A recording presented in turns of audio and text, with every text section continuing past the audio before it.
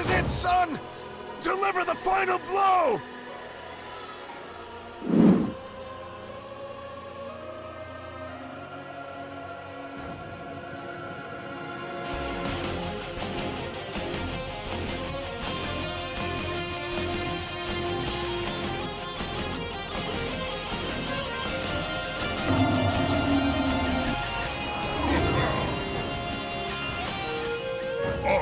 Its master now!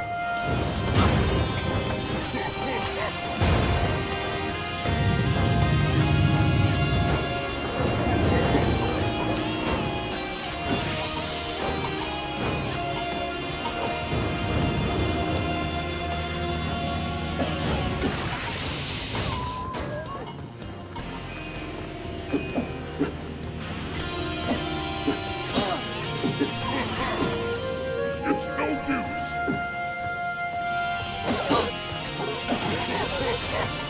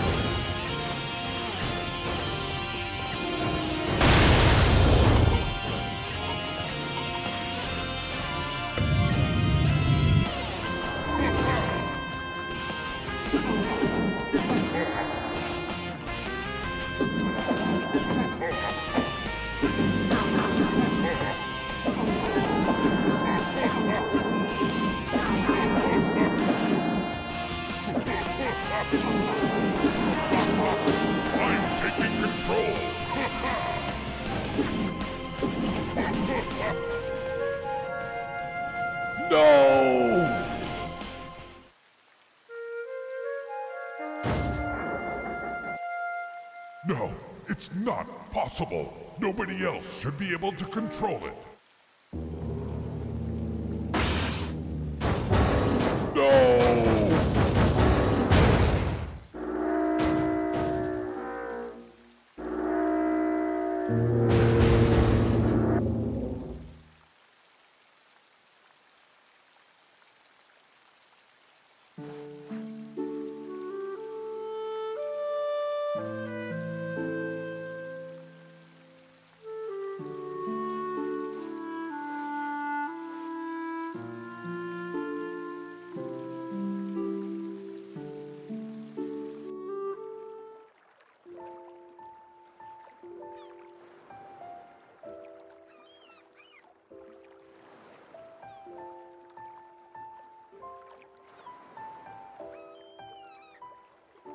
Now I begin to understand.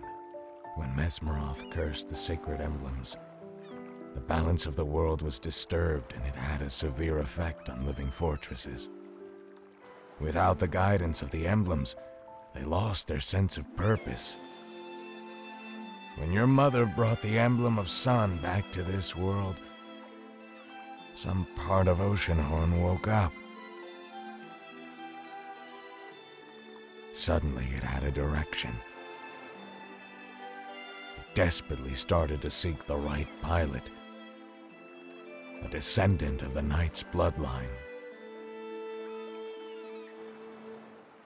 Only the most noble among knights were chosen to be pilots of living fortresses. Those were our ancestors who operated these war machines.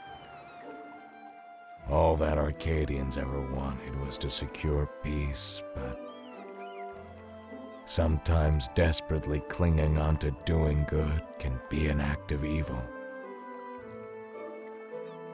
It was forbidden to combine technology, magic, and blood in Arcadia. But Archimedes was willing to cross that border by creating living fortresses when the existence of Arcadia was threatened.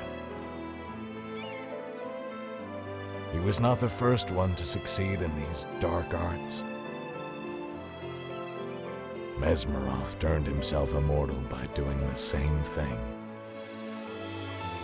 He sacrificed his body by casting a dark magic that bound his soul into a machine. Well, it's all over now. The sins of our ancestors have been purified, and the power of the have been restored. It's time to rebuild the world, kid.